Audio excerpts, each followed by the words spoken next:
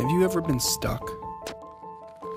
I spent a month on the floor, overwhelmed with stress. So when it finally went completely out and I was screaming on the floor in pain, I called Dr. Sarno. The pain is generated in us when we put ourselves under pressure to be perfect and good. I was so bad personally. During a radio show, I had to lay down on the floor. It was such a great barometer of what was going on inside of me. What do you mean psychological? I feel it. You think I'm making this pain up in my arm? I must have spent 15 years of my life in this position. Your body's telling you take a break and let some other person be awesome for a little while.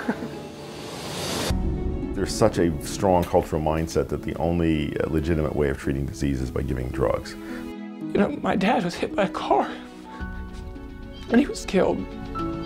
Feelings, that's all we're talking about here. I've been creating pain so as not to deal with things. I had diarrhea for six months, and it turns out I was just scared shitless. That is one angry foot. I was working four jobs. That was too much. It was too much.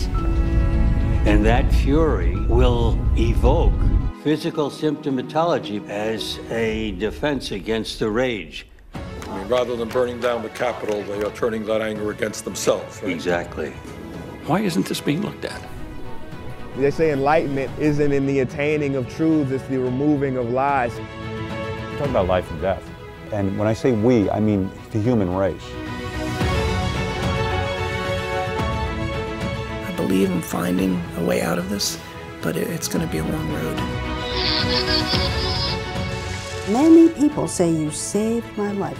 All of this because of one simple idea the fact that the mind and the body are intimately connected. That's the whole story. This was fun being in your documentary.